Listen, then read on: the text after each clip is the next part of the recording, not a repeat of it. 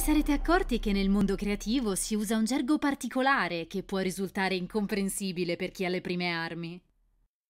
Questo video nasce con lo scopo di fare chiarezza proprio su questo. Iniziamo subito. Prima parleremo dei termini relativi all'aspetto digitale della creazione. Design Space è il software di progettazione di Cricut, disponibile anche nella versione mobile, attraverso il quale potete personalizzare progetti predefiniti e crearne di nuovi da realizzare con la vostra macchina Cricut.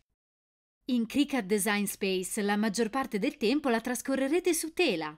Qui potete personalizzare progetti predefiniti e crearne di nuovi.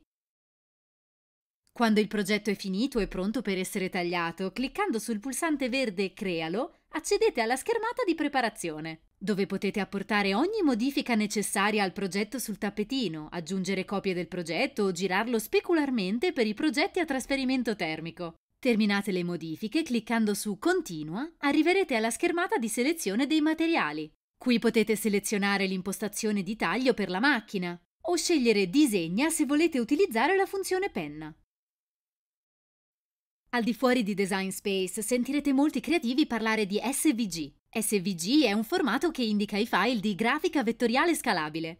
È ideale da usare su Cricut Design Space perché indipendentemente dalla dimensione dei vostri progetti, i file SVG mantengono la stessa qualità. Il firmware è il sistema della vostra macchina. Come ogni dispositivo con un sistema operativo, è importante aggiornare regolarmente il firmware per assicurarsi che la macchina funzioni al meglio. Cricut Access è un abbonamento mensile o annuale che comprende una raccolta di immagini Cricut all'interno di Design Space. Cricut Access dà accesso gratuito a oltre 100.000 immagini, migliaia di progetti predefiniti e oltre 500 font. Inoltre offre sconti su prodotti Cricut, spedizioni e progetti. Ora parliamo dei termini relativi a materiali e progetti. Il vinile è un materiale con un supporto adesivo o dotato di colla, molto usato per creare decalcomanie e adesivi.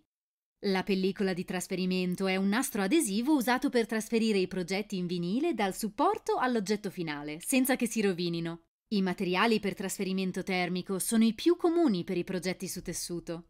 Vengono anche chiamati vinile termoadesivo o HTV, ma tutti e tre, quindi vinile termoadesivo, HTV e Iron-On, sono intercambiabili e indicano la stessa cosa. Il foglio di supporto è un nastro termoresistente per progetti Iron-On. I fogli sono già attaccati al materiale termotrasferibile, diversamente dalla pellicola di trasferimento che invece va applicata. Sentirete spesso dire di posizionare il lato lucido verso il basso per i progetti a trasferimento termico e in questo caso si parla del foglio di supporto. I supporti personalizzabili sono oggetti che si possono decorare con tanti materiali, tra cui vinile, materiali termoadesivi e infusible ink. Con il termine supporti personalizzabili ci si riferisce a diverse cose e alcune potreste già conoscerle, come t-shirt, bicchieri, tazze e anche pezzi di legno per creare insegne. Infusible ink è un materiale il cui inchiostro si fonde nel tessuto. È simile all'inchiostro a sublimazione se sapete di cosa si tratta. Ricordate che quando lavorate con Infusible Ink dovete avere oggetti o supporti personalizzabili rivestiti in poliestere, affinché il progetto sia compatibile. Con staccare o rimuovere si intende eliminare il materiale in eccesso intorno al design tagliato con una macchina Cricut. Sarà necessario farlo ogni volta che userete vinile, materiali per iron-on o infusible ink. Raschiare significa strofinare o premere due parti per farle aderire. Sentirete usare questo termine quando si parla di applicare la pellicola di trasferimento sul vinile utilizzando il raschietto per farli aderire l'uno all'altro. Lavorare per livelli significa usare più di un colore di un materiale nello stesso progetto. A chi ha le prime armi consiglio di ridurre al minimo il numero di livelli finché non si acquisisce dimestichezza. Spero di avervi chiarito molti termini del processo di creazione. Non perdetevi il prossimo video su attrezzature e materiali necessari per iniziare a creare con Cricut.